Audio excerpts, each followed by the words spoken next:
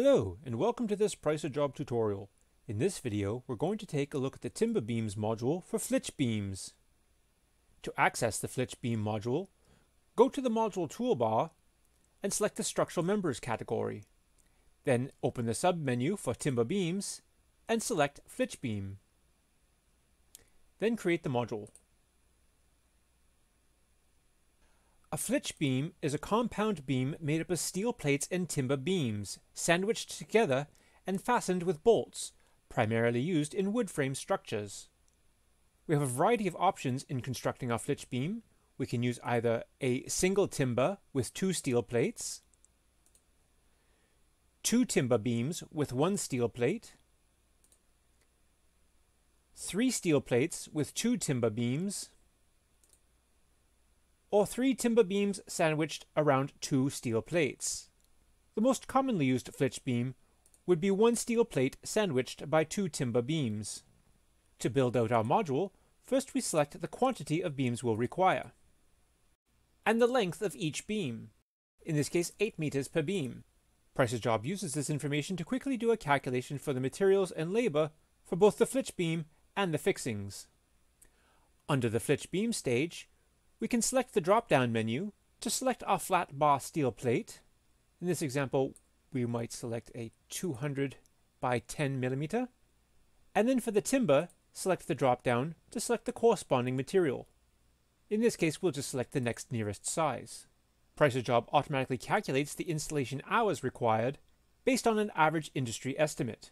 If you expect that your job will be done in a shorter or longer period of time, you can adjust this as necessary and this will cover all the labor required for the drilling and installing the fixings.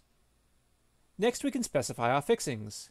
We have options here for high tensile bolts, coach bolts, or a threaded bar. In each of these cases, we can select the drop-down menu to choose the appropriate material. For coach bolts, we can see a variety of materials, and same with the threaded bar. If the material that we prefer to use is not shown in the drop-down menu, we can select Edit Pack, and we can search the Price-A-Job library to find the material that we're looking for. If we don't see the material that we want, we can click Add Material and manually input the material by adding a title, unit, price, category, and website link. In this case, we will select high tensile bolts, and we'll select an M10 by 100 millimeter. And Price-A-Job lets us know that the beam thickness for this flitch beam is 104 millimeters, and the bolts that we have selected are too short. So we can go back to our drop-down menu and select a more appropriate material. And that clears the error. Next we can specify the spacing in millimeters. This is the spacing of the fixings between the center of the timber. And based on this spacing, Price-A-Job will calculate how many fixings are required, in this case 28 high tensile bolts. If we were to change our spacing, say to 500 millimeters, the system would automatically recalculate the quantity of fixings. That would increase it to 38 bolts. If we're using a threaded bar, we can select the drop-down menu to choose the diameter, and then we can specify the stud length. In this case, 150 millimeters is fine. As we've been making all of these various adjustments, Price-A-Job has been automatically generating a well-written description outlining the materials and labor involved. If we would like to add any notes to this, we can just click Add Note.